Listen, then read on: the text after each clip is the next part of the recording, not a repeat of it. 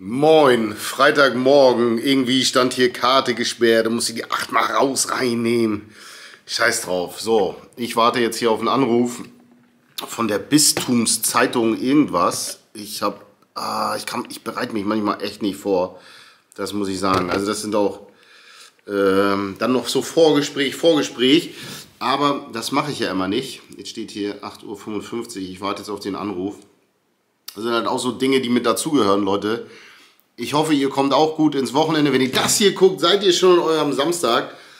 Und äh, was haben wir Freitag jetzt so ein bisschen vor? Ich bin immer noch ein bisschen kränklich. Jetzt nervt es aber. Ach, ich nehme euch mal wieder so in die Hand. wackel, wackel. Profi am Werk. So, also, ich sitze jetzt hier auf der Couch. Ähm, bin dann aus dem Keller hoch, weil ich im Keller immer keinen Empfang habe. Deswegen gehe ich dann hoch und dann mache ich hier so die Telefonate, die zwei, drei Stück, die ich im Monat habe. Ich wehre ja wirklich jedes Telefonat ab. Also Frau Merkel oder Herr Olaf Scholz, wenn die mich äh, anrufen wollen würden, das würde sehr schwer werden. Würde ich erstmal sagen, erstmal ihr Anliegen bitte per E-Mail. Ah, ist halt ein schwerer Schaden aus der Kriminalität, ne? Und Wetter ist sehr, sehr bescheiden. Ich werde mit Rudolfo und Heidi nachher eine Runde drehen. Was liegt Freitag heute noch so an? Marisa ist bei, dem, bei der Pferde. Ich ähm, werde dann live gehen mit Axel äh, nachher. Dann ist das aber schon online auf dem Hauptkanal, Leute. Also den nicht vernachlässigen. Dann werden wir jetzt erst heute den Müll wegfahren von Marisas Geburtstagsfeier. Mein Freund Henning kommt nachher vorbei mit seinem kleinen Transporter und dann werden wir alles durch die Gegend fahren, werden die Bierfässer auch nicht loswerden, den Müll und Reste und ach, leere Flaschen, ja, und dann hoffe ich, mache ich mit meiner Marisa einen schönen, einen schönen, entspannten Freitagabend, einen Pärchenabend. Oh Gott, wenn ich das sehe, da kriege ich ja selber Angst, wenn ich das sehe. Und äh, ich habe es Marisa noch nicht gesagt. Eigentlich würde ich mich morgen freuen, wenn mein Freund Matze aus Hamburg kommt und mit mir HSV guckt. Und Marisa hat gedacht, wir machen morgen einen Tag zusammen ich muss das Marisa irgendwie so verkaufen, dass sie die Idee hat, dass jemand mit mir zusammen Fußball gucken sollte. Und dann würde ich sagen, ja, das würde ja passen. Ich würde mal fragen, vielleicht hat er ja zufällig Zeit. Das muss ich äh, geschickt einschädeln. Ähm, ich muss halt darauf achten, dass Marisa diesen Privatblog nicht guckt. Eigentlich hätte ich Bock mal wieder mit jemandem zusammen Fußball zu gucken. Ich hoffe, da ist sie mir nicht beleidigt. Und wenn sie beleidigt ist, dann ist es jetzt auch zu spät. Marisa, also Leute, ich warte jetzt hier auf meinen Anruf. Und äh, ansonsten macht mich dieses Herbstwetter wieder depressiv, ey. Ich bin so ein Sommerkind. Ich würde so gerne in der Sonne wohnen. Aber da müssten auch alle Familie und Freunde und alle müssten mit. Das ist das Problem. Da müsste ich schon den Euro-Jackpot gewinnen, wenn der ganz groß ist. Ja. Verdammte Axt, ey. Was soll's, Leute. Haltet durch, macht euch ein schönes Wochenende. Dieses Zubehör wird nicht unterstützt von der Kamera. Doch, wird es doch. So. Ich gehe gerade in mein Büro runter. Hier ist ein bisschen Platz frei geworden. Der Tisch ist nämlich jetzt hier rübergebracht worden von Marisa. Und das ist dann unser Lager für die T-Shirts und so. Hier muss ich nur Licht anmachen. Hier, der Tisch ist jetzt weg, mein alter Kneipentisch. Und wie toll sie das hier aufgeräumt hat. Tja. Perfekt. Und jetzt ist da natürlich... Wieso ist, denn, wieso ist denn da hinten das Fenster auf? Hier ist unser Gästezimmer. Denn hier Fenster auf? Und ich heize mich hier blöd. Gas ist ja auch so preiswert geworden. Heizung wenigstens ausgedreht. Gut, nichts zu meckern. So, Gästezimmer, Keller läuft. Jordan auf dem Pferd. Glaube ich. Oder ist das ein Pony? Ich weiß es nicht. Schied egal. So, jetzt ist hier natürlich in meinem Partykeller ein bisschen Platz frei geworden. Hier könnte man jetzt die Handelbank reinstellen. Wie groß ist die Wahrscheinlichkeit, dass das passiert, Leute? I don't know. So, es ist jetzt gleich halb elf. Das heißt, ich warte auf meinen Freund Axel Rides und dann gehen wir gleich live. Ich war ja gerade mit den Hunden draußen. So, jetzt muss ich hier das Greenscreen hochziehen. So funktioniert das. So ziehe ich das hoch. Und dann sitze ich so davor. Gucke in die Kamera. Und jetzt warte ich auf Axel Man. Merkt man mir meine Begeisterung an? Yes? Sehr gut. Dann guckt euch das Video danach an mit meiner Begeisterung. Wie versprochen ist Henning wirklich da. Wie geht's dir, Henning? Müllmann on Tour. Wie geht's mir? Ich bin froh, dass Wochenende ist. Ein ruhiges Wochenende. Mal ganz was anderes. Ja, ne? Ja. Es geht einfach nicht. Wir sind auch so zerstört. Schön mit heiße Milch, Honig. Ich habe mir auch, also ich habe mir die Woche auch so durchgekillt, Leute, ihr habt es ja mitbekommen, ne? aber ich glaube, viele sind mit zerstört. Und ein paar haben sich auch ein leicht einen aufgesackt, aber bei dir ist gut, ne? Bei mir ist wieder gut. Ja. Nach der Schluckimpfung kein Wunder. Ey. Oh, hätte ich mal mitmachen sollen. Also, Dieses Jahresgrippe, pö, Corona, pö, pö, Hat sich erledigt. Ja, ja. naja, auf jeden Fall. Wir fahren jetzt Müll weg von der Party äh, zur ZVO. Wir müssen noch ein bisschen so durch die Gegend schummeln, sag ich's mal. Kleines Auto hat leider nicht gereicht. Ja, äh, ich weiß gar nicht mal, ob die Hausmüll annehmen, aber ich glaube, Hausmüll haben die gar nichts. So ein bisschen Hausmüll, aber so ein bisschen schummeln. Ich finde das schade, dass es nirgendwo gibt, wo du auch Hausmüll loswerden kannst, ne? Also ich glaube nicht, dass sie Hausmüll haben. Weil wenn du mal zu viel hast, wo sollst du hin damit? Selbst du, du willst es ja nicht wild entsorgen, aber dann weißt du gar nicht, wohin damit. Bei dem Nachbarn in der Tonne. Ja, mein Nachbar ist da zu wachsam. Ich könnte ja noch zum, zum Rathausmarkt noch fahren, da was loswerden in der Tiefgarage. Da sind ja große Mietertonnen, aber da habe ich mir noch einen Schlüssel Ah, für. die denken sich dann auch, warte, ist Philipp zurückgezogen? Oh ja, schön, wieder auf dem Balkon. Naja, also morgen werde ich ganz gemütlich äh, auf der Couch HSV gucken. Ja, Werde mir den Tag wahrscheinlich wieder versauen, wenn ich dazu gucke. Und äh, da ist von auszugehen. Dann werde ich die, das Wochenende dafür nutzen, auch sogar ein bisschen vorzuarbeiten. Werde ich das wirklich einfach mal tun. Ich nehme es mir so groß vor. Aber das Wetter turnt auch nicht gerade an, um rauszugehen, ne? Nee, Nee. Heute, kalt ist es ja heute gar nicht, 15 Grad. 15 Grad sind das?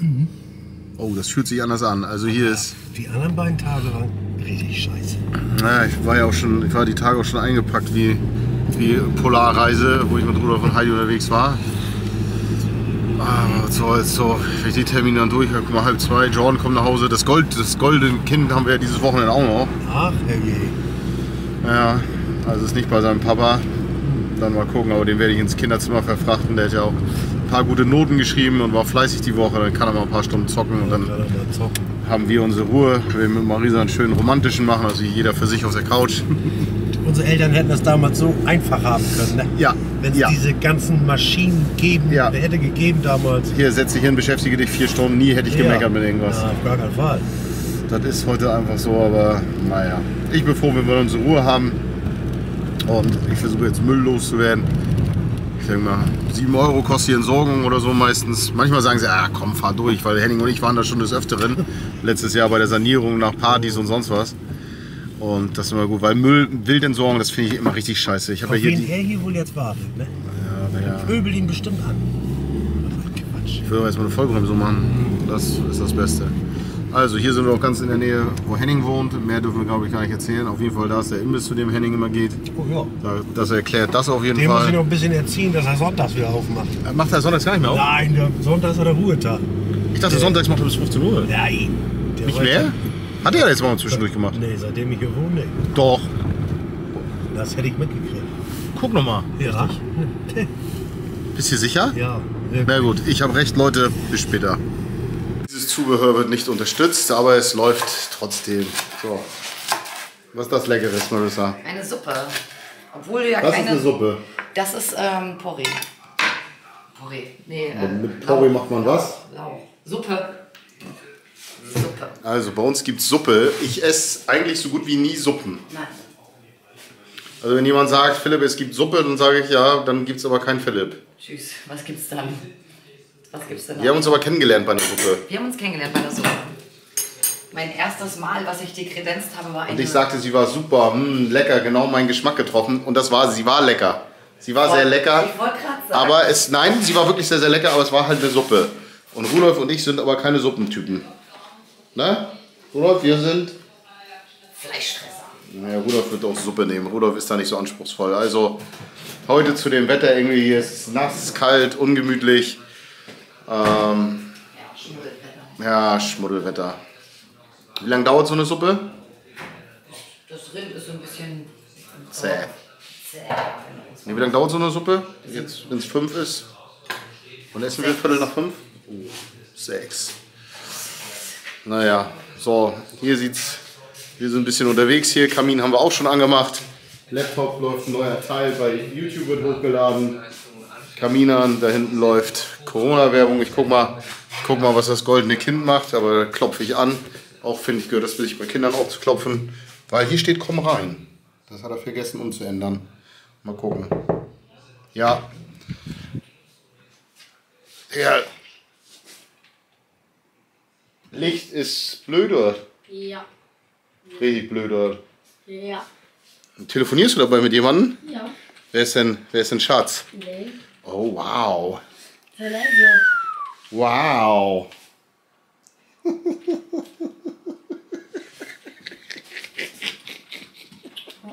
Hör auf. Ist doch gut, ist doch schön. Was redet ihr denn jetzt dabei? Oder spielt ihr beide zusammen? Nee, ich spiele alleine. Aber ihr unterhaltet euch nicht. Doch. Na gut, verstehe ich nicht. Ja, so eine junge Liebe sollte man dann nicht stören. So einfach ist das. Also, da wird jetzt bestimmt ein paar Stunden gezockt, aber es muss ein bisschen überschaubar sein heute. Ich sag mal, keine, keine fünf Stunden, kann nachher noch ein bisschen Fernsehen gucken, aber dieses fünf, sechs Stunden zocken, das ist mir immer alles too long, Leute. Also, oh, das ist hier endlich mal was in die Suppe, was auch mir gefällt. Sehr gut. Gut. Und Marisa und ich haben heute noch einen heißen Abend vor, ne? Endlich mal wieder haben wir Zeit. Endlich essen wir Wiener Würstchen. Dann können wir beinahe schon aufschauen, machen wir uns einen romantischen Abend.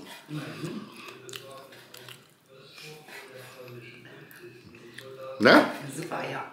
Okay, also Leute, vielleicht melde ich mich später nochmal. Aber for now reicht's. Tja Leute, der romantische Abend ist erledigt.